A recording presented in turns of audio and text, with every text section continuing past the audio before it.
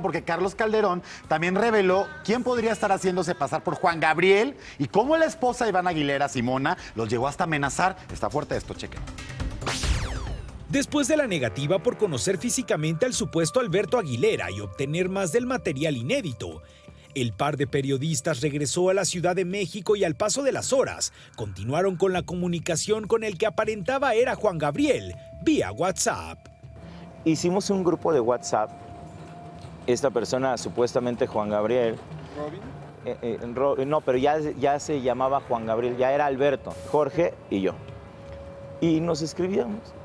Pero a la, a la, a la hora de, de ver cómo escribe, cómo escribía esta persona, nada que ver con cómo escribió Alberto, ¿no? No sabes cómo te estoy viendo, ¿verdad? No sabes cómo es que me estás escuchando. ¿Crees que soy fantasma?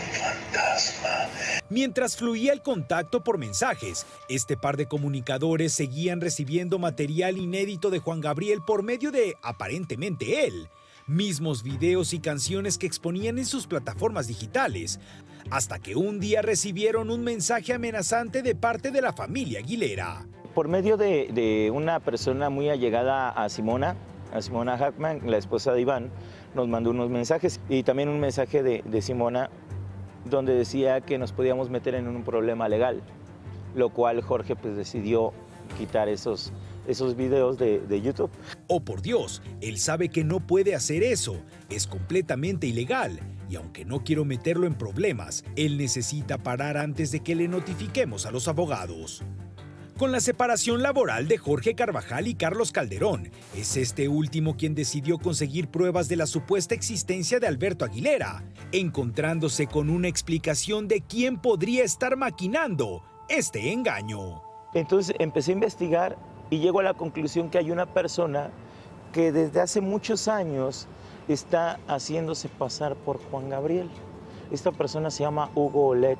Es una persona que entra en la vida de Alberto porque este tipo es ingeniero en sistemas.